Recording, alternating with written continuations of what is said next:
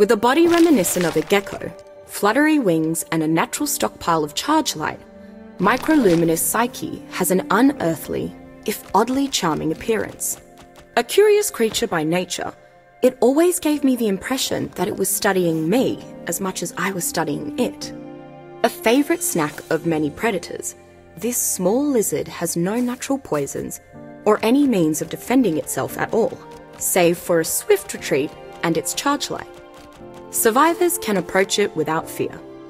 As a pet, Microluminis Psyche is happy to clamber up a survivor's shoulder and cling to it as though it never wants to leave. Evenly tempered and easy to care for after being tamed, it is a stalwart companion and an excellent source of charge light. Most commonly found in the upper chambers of the caverns, Microluminis serenitas is at once elegant and adorable. As with its relatives, it is entirely peaceful and no threat to survivors. After close study, by which I mean very scientific bouts of cuddling, I found that it shares traits with both bovids and cervids. However, in the soft glow of its charge light, Microluminis serenitas always gave me the impression that were it larger, it would be right at home pulling Artemis' chariot. An exceptionally well-mannered and huggable companion, Microluminis serenitas is an excellent choice of pet for any survivor. Whether it is providing a source of charge light from your shoulder or playfully bounding up beside you, its presence is sure to brighten up your day. Microluminis globulus is best described as a slobbering, roly poly ball of affection. Just like its kin, it is completely harmless, despite its pronounced fangs. So, if a survivor sees one running towards them, they should prepare to be licked, not bitten. Unfortunately, being so ugly that you're cute is not an effective means of self defense, which lands it near the bottom of the food chain. Its charge light may intimidate some predators, but it attracts just as many. While microluminis globulus has skin reminiscent of lizards or amphibians, its behaviour is incredibly similar to a common canine. This has made it a particularly popular choice as a companion and source of charge light. But remember, whatever shoulder you rest it on will be covered in drool within minutes. A floating beacon of light often found in the deepest pits of these caverns Microluminis electrion's appearance can seem almost heavenly. Its colourful plumage doesn't hurt either. Even without the charged light it emits, it would give any modern bird on Earth a run for its money in terms of pure spectacle. Although its feathery eyebrows might give one the impression that it is related to owls, it is not a bird of prey. It is entirely docile and shows no aggression towards survivors or other creatures.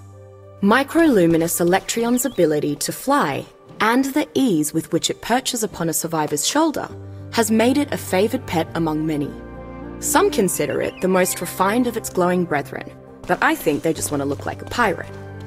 Not that I blame them. Xenomyzon luminosus is one of the most poisonous aquatic species I've ever encountered.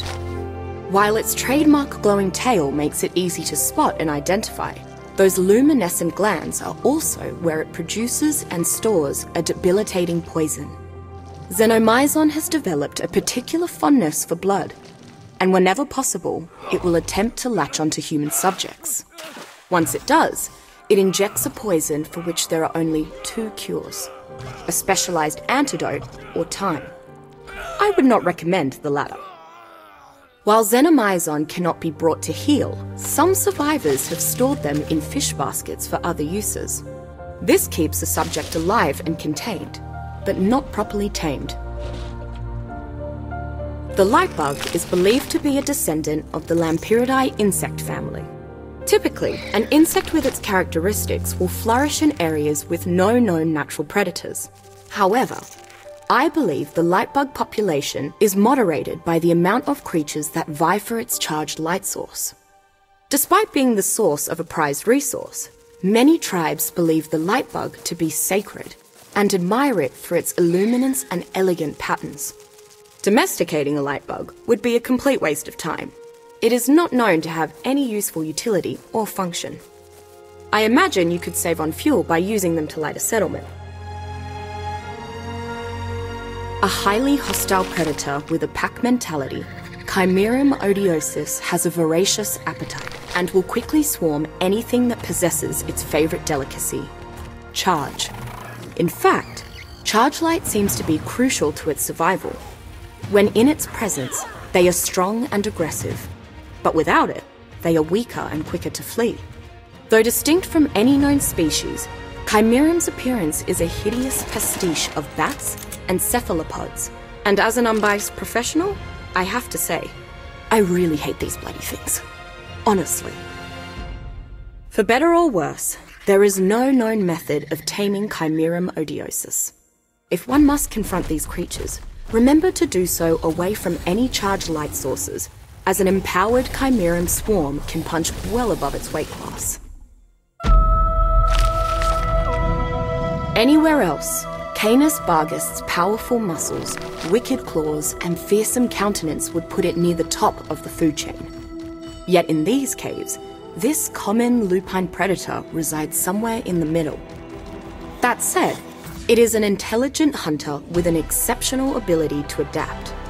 For example, it has learned to utilize the zip lines that survivors have built as a means of travel, all on its own. Remarkable. The strong legs of the Canis bargast make it an effective mount for many survivors, particularly for long distance travel. While other creatures outshine it when it comes to bursts of speed, its stamina and ability to climb across both natural vines and artificial zip lines makes it a highly versatile travelling companion.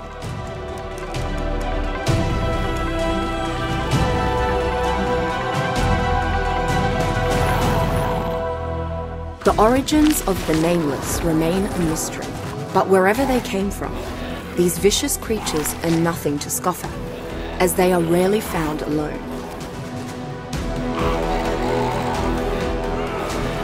Common Nameless act in a subservient role to their pack's alpha, and will quickly heed its call to battle. Though savage in nature, the Nameless are deceptively intelligent. When hurt, they burrow underground to recover and protect themselves from further damage. Fortunately, they are highly susceptible to damage and burns from charge based light sources, and exploiting this weakness can save a survivor's life. All attempts to pacify a Nameless have failed. Each one has an extremely powerful bond with its pack leader, and for survivors, it might as well be unbreakable.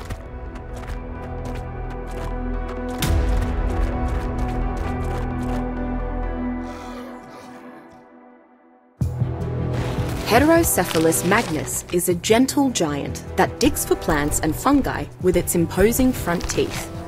While foraging, it often uncovers precious resources inadvertently, but survivors should claim them with caution, as this triggers an aggressive response.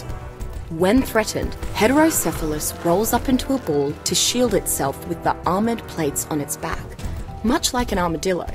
It then rolls around like an oversized bowling ball, smashing through rocks, walls, and hopefully its aggressor. While hardly a ferocious wall beast, Heterocephalus is an effective transport that can carry up to three passengers. In theory, it could also be a siege weapon, as its rolling attack can dent even metal. Fortunately, most survivors use a special saddle that deploys a protective canopy when it starts spinning, which not only keeps them from getting squished, but provides extra protection to the rider and mount alike. Carcinus versitus is the giant cousin of modern crab species, with long, spindly limbs that remind me of the Japanese spider crab and a hard, stony shell. It is much more agile than its smaller brethren, but even more noticeable are its pincer claws. In an extraordinary display of dexterity, Carcinus is able to wield each claw independently and precisely.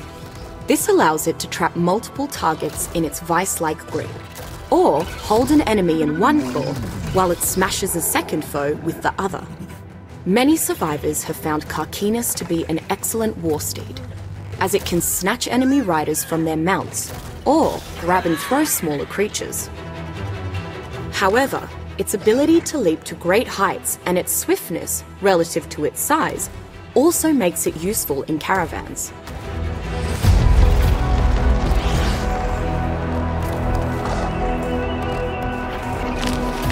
Draconis obscurum is a magnificent example of a predator that has flawlessly adapted to its environment. It is surrounded by cavern walls, so it developed powerful claws with which to scale them, and colourful plumage on its anterior limbs that let it glide from perch to perch. But most dangerous of all, its active camouflage, which lets it fade into the shadows and stalk its prey undetected. It has even adapted to the nameless and the reapers. Draconis feathers will raise in warning when they are near, and this massive, elegant lizard seems to be the reaper's only natural enemy. With its unparalleled mobility and undeniable power, Draconis obscurum is a highly sought after mount. Survivors who successfully bring one back from its nesting grounds will suddenly find these caverns much easier to traverse, and that their enemies have become their unsuspecting prey. Even its saddle and rider are affected by its active camouflage, so a survivor's enemies will never see them coming.